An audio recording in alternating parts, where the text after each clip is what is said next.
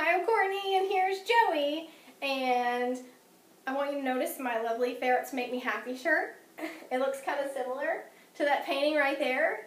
I had an artist paint this for me.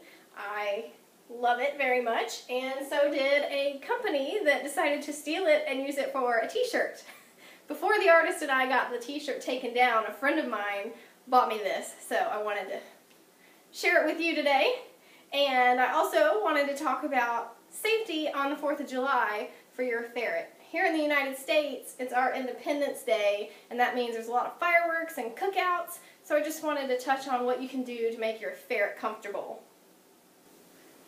Joey is enjoying some salmon oil, so I want to tell you about the 4th of July. I have fireworks that go off near my house, and also some neighbors that like to do fireworks. So I am sure that Joey is in his cage with the radio on because I try to drown out the fireworks because of the loud booms and the bursts and I just don't want Joey to freak out.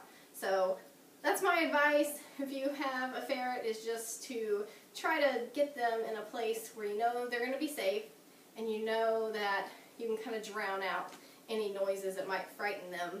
If you have a cookout going on, just be sure you talk to your guests I would think about putting your ferret in a pen or in their cage, just because guests might mean well, but they probably don't know how ferrets are, and that ferrets can be really quiet and get in doorways and maybe get caught in one, or if people are going out to the grill all day, like going to get hot dogs and hamburgers, your ferret might slip out the door and nobody would know until it's too late.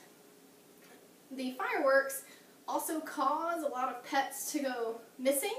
Not just talking about ferrets because they're mainly inside, but talking about dogs and cats just because I used to work at a business that did microchips that get put into animals and I was one of those people that were on the phone trying to help the lost pets get home and our busiest day of the year was July 5th because of all the animals that had bolted after hearing the fireworks. So just keep that in mind. Keep your animals safe. Keep them nice. And I, I know that some ferrets may not care. Some of you are probably like, my ferret's just going to sleep through it. No problem. But others get scared. So just be sure you're mindful of what your ferret, how your ferret is responding. And I hope you guys have a great 4th of July. And you still liking that salmon oil? His favorites. So I will see you guys next time. Bye!